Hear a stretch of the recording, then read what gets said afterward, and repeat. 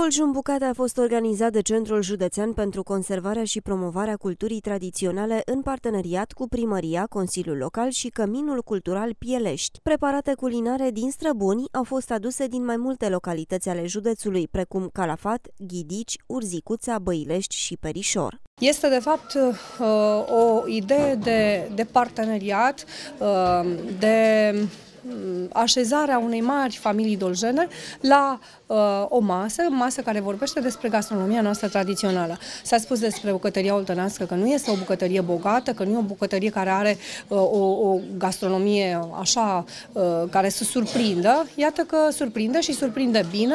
Doljenii au adus mâncăruri gustoase de la mămăliguța cu pește și ciorba de praz la salam de biscuiți. De pe masă nu a lipsit nici ceșcuța de rachiu. Am venit cu preparate pe bază de praz.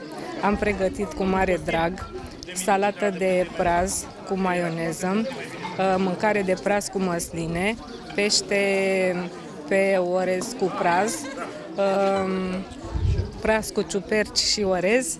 Cum gătea bunica noastră racul ăla umplut, uh, cum îi zicem noi, ardeiul românesc, un ardei special pentru a-l umple cu coca, cum îi zicem noi de la Dăbulen, coca cu praz. Uh, am încercat să readuce, să punem pe masă uh, mai multe produse tradiționale, cum este un cărnat afumat, uh, o plăcintă cu dovleac, tot un pește prăjit pe plita mașinii și cu o mămăligă prăjită, că așa o mâncau bătrânii noștri dimineața. În cadrul evenimentului au fost prezentate de asemenea mai multe obiceiuri din bătrâni. Fetele au învățat astfel de la femeile în vârstă cum se țese. Nu doar masa îmbelșugată i-a încântat pe cei prezenți la eveniment, ci și programul artistic. Foaie de trei